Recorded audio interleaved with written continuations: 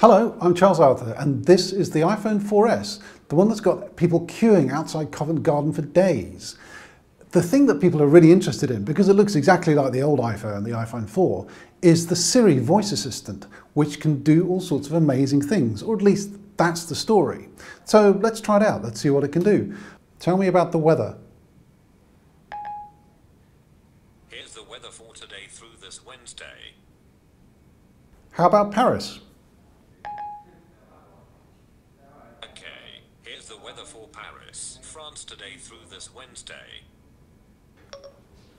Tell me where I am. I don't know what you mean by. Tell me where I am. Doesn't know what I mean by that. Tell me the value of the euro. Checking on that for you. Okay, here you go.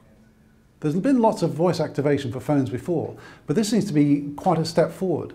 Although a lot of people are trying it out and uh, finding interesting things that it can't answer. Siri, what are you? I'm Siri, your virtual assistant.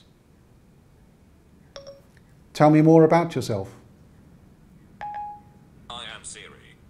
Apple was first to make the touchscreen really usable back in 2007. It may be now in 2011, moving on to 2012, that it's going to have made voice activation and voice recognition and natural language the next step forward in how we use devices.